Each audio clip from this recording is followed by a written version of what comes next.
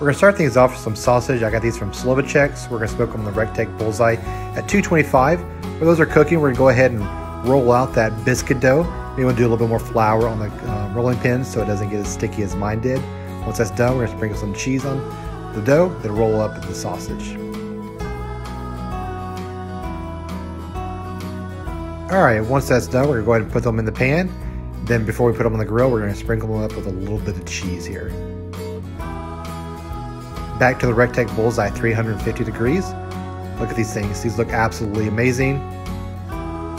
Man, this is the perfect Texas breakfast. So delicious.